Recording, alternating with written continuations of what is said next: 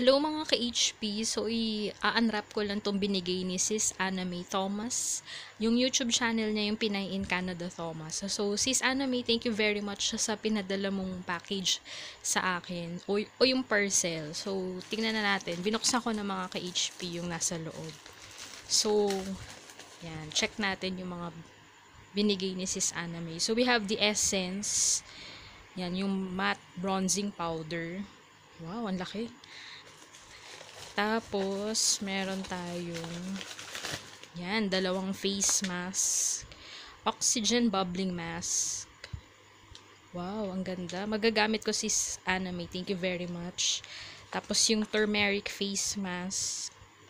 Thank you ulit sis. Yan. Tapos ano pa ba yung mga nasa loob? Ay, naku, ano pa to papel. May papel pang kasama.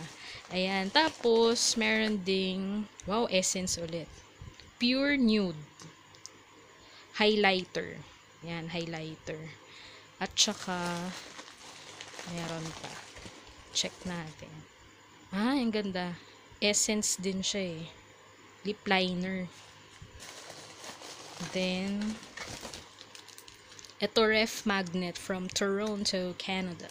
Thank you ulit sis. Naku, favorite ko tong mga ref magnet. And then, isa pa. Wow.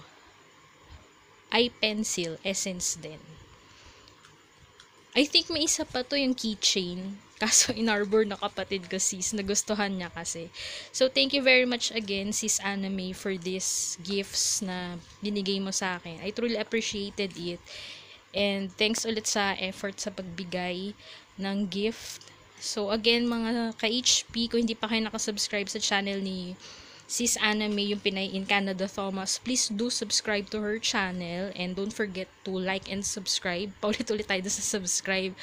And thank you very much ulit mga ka-HP dun sa mga bagong kapamilya natin. Si, si Sis Roche, Ginyo, Ginyo from she's from Japan, Filipina vlogger from Japan.